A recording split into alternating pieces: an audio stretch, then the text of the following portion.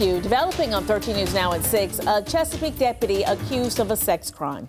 After almost two decades on the job, the sheriff's office fired Timothy Burnside. Now there's an investigation into serious allegations against him. 13 News Now reporter Allie Weatherton joins us live in Chesapeake. And Allie, people tell you they're shocked by this. They are shocked, David, because many people say they know him. He's worked at the Chesapeake courthouse for several years now, and people say he's a nice guy, and they're not believing the allegations. This is 52 year old Timothy Burnside. He's a former Chesapeake Sheriff's deputy, now charged with misdemeanor sexual battery on an inmate. For the past 17 years, Burnside worked for the department until he was terminated on February 16th. His job, court security. The Chesapeake Police Department spokesperson says detectives found out about an incident involving a woman inmate in Burnside.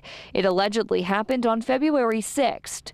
The spokesperson said Burnside turned turned himself in on Tuesday and has since bonded out of jail. His next court date is set for March 5th. Now, I did go by Burnside's home. A woman answered the door and said they would not be talking to the media. Live in Chesapeake, Allie Weatherton, 13 News Now.